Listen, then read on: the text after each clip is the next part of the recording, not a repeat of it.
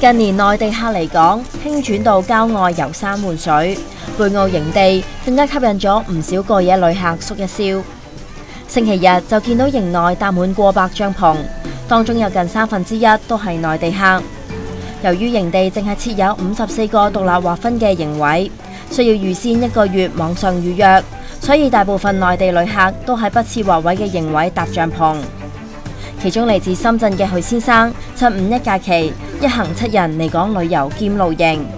佢話見到有幾十人嘅內地旅行團過嚟紮營過夜。因為我看到有導遊在，就是拿着大聲公在喊話，我想就應該是旅遊團體。亦有旅客表示嚟港購物已經唔再吸引。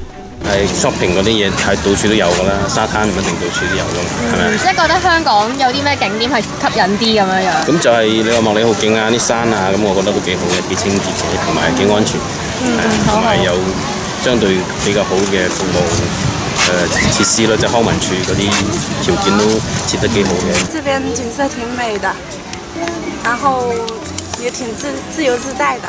這一次就是來這邊來感受自然的風景。佢話營地夜晚聽到一家大細講普通話好普遍，更加話體驗港式露營別有一番風味。WTV 東網電視新聞台報導。